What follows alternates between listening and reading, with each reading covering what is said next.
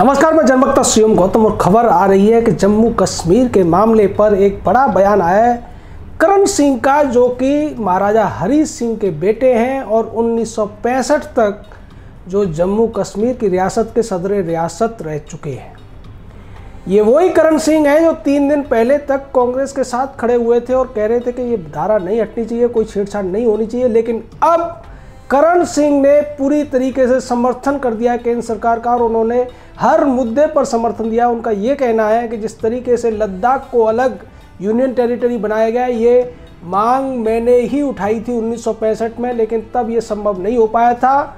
और जिस तरीके से वहाँ जम्मू कश्मीर की महिलाओं के साथ विभेद होता था, उनको, उनकी जो नागरिकता के परमानेंट रेजिडेंस वाले सर्टिफिकेट रद्द हो जाते थे अगर वो किसी बाहरी बाहर के व्यक्ति से, यानी कि भारत के किसी अन्य राज्य के व्यक्ति से शादी करती थी, वो भी गलत था और ये अब अच्छा हुआ कि अब उनको समान रूप से लैंगिक विभेद को दूर कर दिया गया है। एक और बात उन्होंने समर्थन किया कि जिस तरीके से पश्चिमी पाकिस्तान से आने वाले जो शरणार्थी थे, जिनकी संख्या आठ से नौ लाख होती है जम्मू कश्मीर के अंदर, उनको अधिकार नहीं मिले हुए थे, उनको वहाँ का परमानेंट रेजिडेंट सर्टिफिकेट नहीं मिला हुआ था। अब ये धाराएँ हटने के बाद उनके नागरिक अधिकारों का भी संरक्षण होगा। साथ ही साथ करण सिंह ने कहा कि जो शेड्यूल कास्ट और शेड्यूल ट्राइब को वहाँ अधिकार नहीं थे, अब वो भी मिल जाएँगे। अगर मोटे तौर पर कहा जाए तो भारत सरकार ने जो दलीलें दी थी, उन सभी दलीलों का समर्थन कर दिया है करण सिंह ने, और ये कांग्रेस के लिए बहुत बड़ा झटका है। क्योंकि इससे पहले जनार्दन द्विवेदी, ज्योतिरादित्य सिंधिया, मिलिंद देवड़ा और रंजीता रंजन जैसे कई लोगों ने इसका समर्थन खुल के किया था, जिसके बाद ऐसा लगने लगा था कि कांग्रेस दो फाड़ हो जाएगी। गुलाम नबी आज़ाद लेकिन अपनी पुरानी गुलामी से अभी तक बाहर नहीं आने, आ रहे हैं।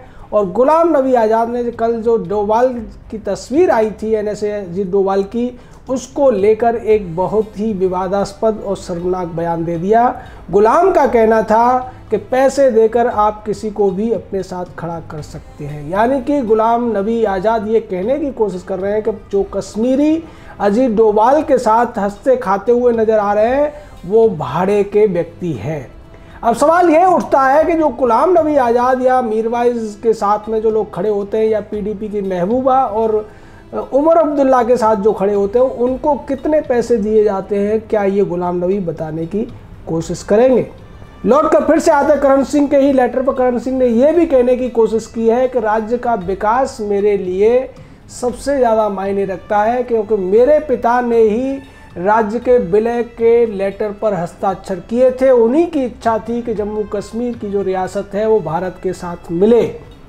इसलिए जहाँ राज्य के लोगों का विकास होगा, उनका कल्याण होगा, मैं वहीं खड़ा नज़र आऊँगा और मैं पूरी तरीके से इस फैसले के साथ हूँ। साथ ही साथ मैं भारत सरकार से और भारत के लोगों से ये भी कहना चाहूँगा कि जो दो पार्टियाँ वहाँ की हैं, जिनको अभी देशद्रोही समझा जा रहा है, लेकिन उनको भी थोड़ी सी मोहलत दे दी जाए, क्योंकि राज्य के विकास के लिए वहाँ लोकतांत्रिक प्रक्रिया भी ज़रूरी है। साथ ही साथ उन्होंने एक और बड़ी बात का समर्थन किया और वो थी डीलिमिटेशन वाली बात। जिस तरीके से वहाँ पर फारूक अब्दुल्ला ने 2024 तक के लिए डिलिमिटेशन को टाल दिया था, अब करण सिंह कह रहे हैं कि अब नए प्रारूप के साथ वहाँ पर पुनर्गठन होना चाहिए विधानसभाओं का, जिससे जो लोग हैं जम्मू कश्मीर के और जो नए लोग उसमें जुड़ेंगे, उन सभी का प्रतिनिधित्व आने वाले समय में विधानसभा में हो पाएगा और यही वास्तव में उनके मौलिक अधिकारों का सही तरीके से संरक्षण होगा, जो भारत का संविधान कहता रहा है। तो सीधे तौर पर हर उस बात का समर्थन कर दिया है करण सिंह ने, जिसको अमित शाह ने संसद में उठाया था। जिसको भारत सरकार ने, मोदी सरकार ने लोगों के समक्ष रखा और जिसके लिए 35 ए और 370 हटाया गया। तो ये बहुत बड़ी जीत है सरकार के लिए और बहुत बड़ा झटका है कांग्रेस पार्टी के लिए, गुलाम नबी आज़ाद के लिए, क्योंकि गुलाम नबी आज़ाद ने जो प्रेस कॉन्फ्रेंस की थी, उसमें करण सिंह भी साथ बैठे थे और उन्होंने उस समय ये कहा था कि कोई भी इस तरीके का कदम खतरनाक हो सकता है। लेकिन आज ऐसा लगता है कि करण सिंह के अंदर की जो एक अंतरात्मा है, उनकी वो जाग गई है, उन्हें अपने पिता के उन सपनों की याद आ गई है, जिसके लिए उन्होंने भारत में विलय किया था इस रियासत का। इसलिए आज वो अपनी सच्चाई को उन्होंने एक पत्र के माध्यम से उजागर किया है, जो कि पूरे एक पेज में डिटेल तरीके से उन्होंने एक एक पॉइंट पे उन्होंने हर अपनी राय रखी है और उस राय का समर्थन किया है, जो भारत सरकार ने जम्मू कश्मीर में अब ज़ाहिर की है। वहीं दूसरी तरफ़ पाकिस्तान की किरकिरी अभी रुक नहीं रही है। पाकिस्तान के प्रधानमंत्री इमरान खान ने कल कहा था कि वो भारत के साथ सभी व्यापारिक रिश्ते खत्म कर देंगे, भारत के राजदूत को वापस भेज देंगे, अपने राजदूत को वापस बुला लेंगे और उसके बाद उन्होंने कई देशों के प्रधानमंत्रियों को या उनके जो चीफ होते हैं उनको फ़ोन करके अपने पक्ष में समर्थन मांगने की कोशिश की, लेकिन हर तरफ़ से इमरान खान को एक ही निराशाजनक स्थिति का सामना करना पड़ा। चाहे वो ब्रिटेन के प्रधानमंत्री को उन्होंने फ़ोन किया, उन्होंने भी कहा कि हम आपके साथ हैं, लेकिन जब बात आई कि भारत ने 370 और 35 से हटा दिया है, आप उसकी निंदा करिए तो ब्रिटेन के प्रधानमंत्री की तरफ़ से कोई भी स्पष्ट जवाब नहीं दिया गया और ना ही वहाँ के प्रवक्ता ने इसको लेकर कोई बयान दिया। उससे पहले इमरान खान ने चीन के राष्ट्रपति सी जिनपिंग को फ़ोन किया था और उनसे ये मांग की थी कि वो पाकिस्तान के पक्ष में बोलें, लेकिन जिनपिंग ने एक बयान ज़रूर जारी कराया था। उसमें केवल लद्दाख का ज़िक्र किया था, क्योंकि लद्दाख की सीमाएँ अक्साई चीन से मिलती है, वैसे वो भारत का हिस्सा है और अभी पाकिस्तान के कब्जे में है। और चीन ने ये कहने की कोशिश की थी कि आप हमारी संप्रभुता और हमारी लाइन ऑफ़ कंट्रोल के ऊपर कोई हस्तक्षेप न करें। जिसको लेकर भारत सरकार ने कह दिया था कि ये जो हुआ है, वो हमारे अपने राज्य में हुआ है और हमने अपने राज्य का पुनर्गठन किया है। हमने किसी अन्य देश के साथ कोई भी किसी तरीके का हस्तक्षेप नहीं किया है। फिर पाकिस्तान के प्रधानमंत्री फ़ोन करते हैं। ट्रंप को और वहाँ भी यही गिड़गिड़ाते हैं, लेकिन ट्रंप की तरफ़ से भी कोई इस तरीके का जवाब नहीं दिया जाता। दूसरी तरफ़ वाशिंगटन के जो वाइट हाउस है, उसके प्रवक्ता ने एक बात ज़रूर कही कि भारत ने जो कुछ अभी किया है, हम उस पर नज़र बनाए हुए हैं। और हमारी कोशिश ये होगी कि किसी तरीके से दोनों देशों के बीच में कोई टेंशन न बढ़े। इसके बाद पाकिस्तान के प्रधानमंत्री फ़ोन करते हैं तुर्की के राष्ट्रपति को और वहाँ भी वो कोशिश करते हैं और तुर्की की तरफ़ से एक बयान आता है कि भारत ने जो किया है, हम उसकी निंदा करते हैं, लेकिन उससे ज़्यादा तुर्की कुछ कर भी नहीं सकता है क्योंकि तुर्की का भारत के साथ बहुत सारे हित जुड़े हुए हैं जिनको वो किसी भी हालत में नज़रअंदाज नहीं करेगा और इसी वजह से वो भारत के साथ रिश्ते भी नहीं तोड़ना चाहेगा।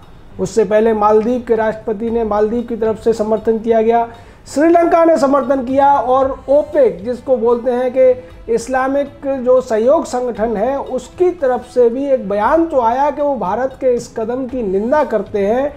लेकिन उसी इस्लामिक संगठन के सबसे बड़ा जो देश है, यूएई, उसने खुलकर कह दिया कि हम भारत के साथ हैं। भारत ने जो कुछ किया है, वो अपने आंतरिक राज्य के मामलों में किया है, संविधान के अंतर्गत किया है, और इससे किसी को कोई परेशानी नहीं होनी चाहिए। वहीं दूसरी तरफ़, जो सऊदी अरब के क्राउन प्रिंस हैं, उसे भी फ़ोन लगाया पाकिस्तान के प्रधानमंत्री ने, और उसने भी कोई स्पष्ट जवाब नहीं दिया पाकिस्तान को, क्योंकि सऊदी भी जानता है कि भारत के बहुत से लोग सऊदी अरेबिया में काम करते हैं और उनके हित जुड़े हुए हैं। इसलिए कोई भी देश खुलकर पाकिस्तान के साथ नहीं आ रहा है। चाइना भी साथ में नहीं आया, अमेरिका भी साथ में नहीं आया। और बाकी जो यूरोप के बड़े बड़े देश हैं, उनका तो सवाल ही नहीं उठता, क्योंकि उनके साथ में भारत के जिस तरीके के कूटनीतिक रिश्ते हैं, उसके आधार पर पाकिस्तान को ये पहले से पता है कि अगर वो वहाँ फ़ोन भी करेंगे तो वहाँ से समर्थन नहीं मिलने वाला है। निश्चित तौर पर पाकिस्तान के लिए बहुत बुरी स्थिति पैदा हो गई है और वो कंगाली के एकदम कगार पर खड़ा हुआ राष्ट्र है। उसके बावजूद उसकी सेना उसको उकसा रही है और विपक्षी पार्टियाँ उकसा रही हैं कि वो भारत के खिलाफ कुछ करने का हिम्मत दिखाए, लेकिन हिम्मत वो दिखाएगा कहाँ से? जिसकी जेब में दो कौड़ी नहीं हो, वो व्यक्ति कैसे लड़ाई लड़ेगा और किस मुद्दे पर लड़ाई लड़ेगा? क्योंकि यूएन ने भी जिस तरीके से अभी यूएन का जो न्यायालय है, उसमें भी पाकिस्तान ने जाने की कोशिश की, लेकिन वहाँ से भी उसे स्पष्ट संदेश मिल गया है अनऑफिशियली कि भारत ने जो कुछ किया है, वो उसने अपने संप्रभुता के दायरे में किया है, अपने अधिकारों के दायरे में किया है। ये कहीं से भी किसी भी तरीके का अतिक्रमण नहीं है, किसी भी देश की सीमाओं का अतिक्रमण उन्होंने नहीं किया है, इसलिए हमारा कोई हस्तक्षेप उस मुद्दे पर नहीं हो सकता। अब पाकिस्तान के प्रधानमंत्री को कुछ सूझ नहीं रहा है कि वो करे तो क्या करे। वो युद्ध की घोषणा करके अपने बाकी बचे हुए देश को बर्बाद नहीं करना चाहता है और उसके अलावा जिस तरीके के प्रतिबंध लगाने की बात है तो उसमें भी जो व्यापार होता था, उसमें नुकसान पाकिस्तान का ही ज़्यादा है। क्योंकि भारत ने जो एलओसी पर जो ट्रेड होता था, उसको अप्रैल में ही बंद कर दिया था। अभी जो थोड़ा बहुत बाघा बॉर्डर के द्वारा या कराची के द्वारा जो व्यापार हो रहा था वो बचा हुआ था, अब उसको भी बंद कर दिया जाएगा। और दूसरी तरफ़, भारत ने पाकिस्तान से आने वाली चीज़ों पर 200 प्रतिशत की कस्टम ड्यूटी लगा रखी थी, जो सीधे तौर पर उस व्यापार को हतोत्साहित करने के लिए थी। तो निश्चित तौर पर इसमें भी नुकसान पाकिस्तान का है और पाकिस्तान के लिए यही बेहतर होगा कि वो चुप बैठ जाए और कश्मीर का जो हिस्सा उसने भारत से कब्जाया हुआ है, उसको वापस कर दे। और अपने आप को एक शांतिपूर्ण देश बनाने की दिशा में काम करे, जिसमें भारत भी उसकी मदद कर सकता है। लेकिन अगर वो आतंकवाद को प्रश्रय देता रहेगा, संरक्षण देता रहेगा तो उसके टूटने के दिन भी बहुत ज़्यादा दूर नहीं है। जय हिंद, जय भारत।